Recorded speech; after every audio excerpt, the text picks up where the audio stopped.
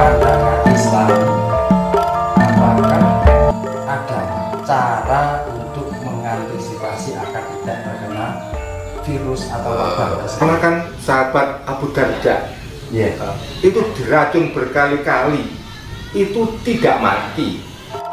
Assalamualaikum. Waalaikumsalam warahmatullahi wabarakatuh. Apa memang betul virus corona itu virus yang mematikan?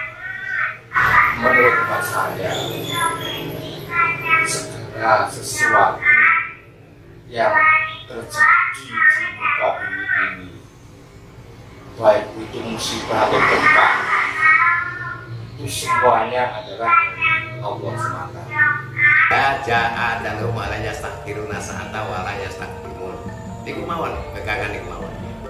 Batasan ajal kita semua adalah di tangan Tuhan. Yang berhak menghidupkan Hmm. Allah yang berhak Mematikan. Kematian kita sebagai orang yang beriman itu juga hanya Allah yang punya.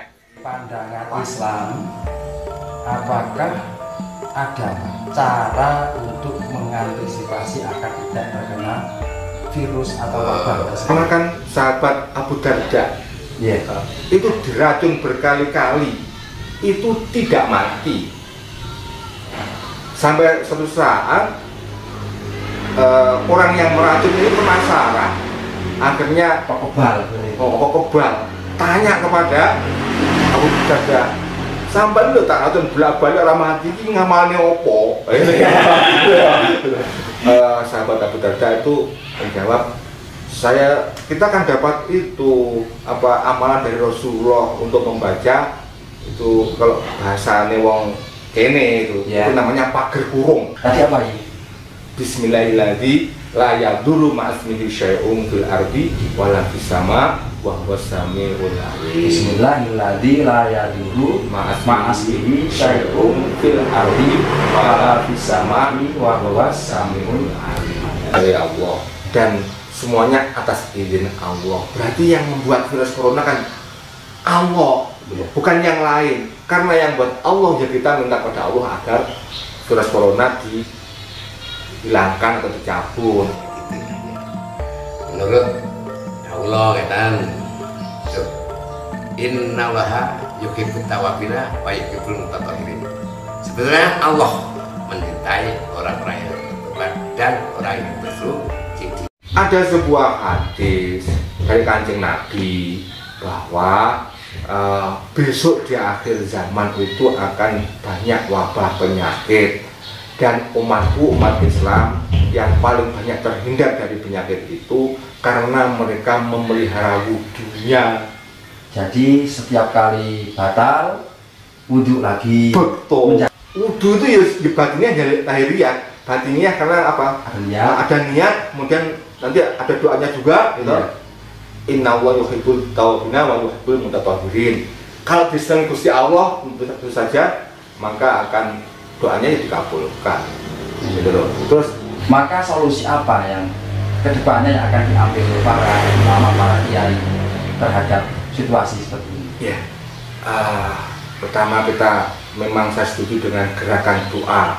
Dari semua lini ini agar virus corona ini segera selesai Amin. Doa kepada Allah Subhanahu wa taala.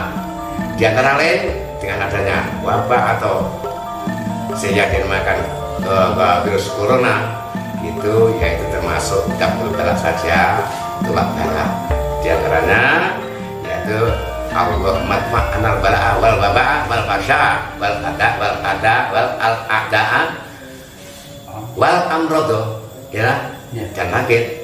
Itu saya innaka ala kulli syai'in qadir. Allahumma Allahumma dfa idfa. Idfa ah, hasilnya idfa. Terus? Annal bala'a. Annal bala'a. Ah, kemudian bah wal bala wal waba'a. Wal waba'a. Ah, kemudian? Wal fasya'a wal fahsa'a ah, terus? Wal aqda'a wal a'da'a da'a wal amrod. Wal amrodo. Wal amrodo. Hmm, innaka ala kulli syai'in qadir. Layak apa kodirnya saja Mbak. Terus mungkin mbahnya Pak Yai mau pesan ke para santri. Seorang muslim, seorang santri kita harus menjaga iman. Iman jangan sampai kita kemudian iman kita goyah karena virus corona artinya apa?